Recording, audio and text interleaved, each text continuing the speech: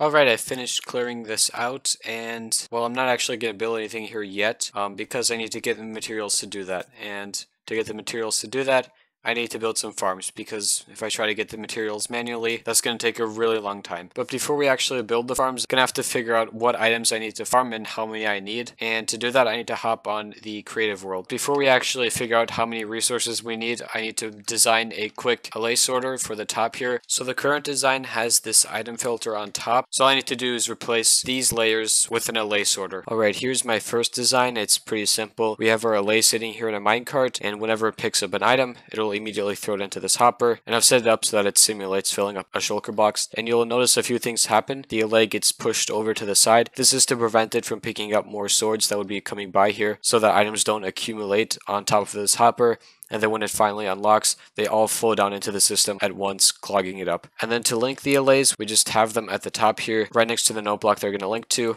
and they'll only link to that note block as you can see. Now I just need to make sure this is tileable. Alright, I've done some tests and it seems to work pretty well. I also tried putting two right next to each other and that also works. So this system should work pretty well. Now I just need to figure out how many resources I need to build the allay sorter and the regular stackable item sorter. Alright, I've decided to separate the schematics into two different parts. So we have the bottom, which will be the same for both the allay and item sorters, and then we can just swap between the two when we're going to build it. Now before I can continue and calculate the amount of items I need, I need to first make a list of all the items I'm going to store. Alright, I've compiled a list of all the items I'm going to store. Now I have chosen to exclude some items that are unobtainable, such as bedrock and farmland, along with items that can't be sorted by allays like potions, because allays can't sort through NBT data. So in the end, this is the amount of items we're going to store, and of course I can always add more in the future. Anyway, I tallied everything up, and we need 884 stackable item sorters, 149 unstackable ones, for a total of 1033 item sorters. And as I showed you earlier, each module consists of a bottom segment and a top segment, either a stackable or an unstackable, and and I have put the resources needed for each part of the module in here, along with the raw resources you need to craft these items. So now we basically have everything we need to calculate how many items we need to build the whole storage system, and also what kinds of farms we need. Like for example, I'm going to probably need a cobblestone farm, a wood farm, and oh yeah, there are some fractions in here. They got kind of messy. And that's probably what we'll do in the next video. We'll build some farms to farm all these things that we're going to need. Unfortunately, I've run out of time, so I hope you enjoyed, and I'll see you in the next video.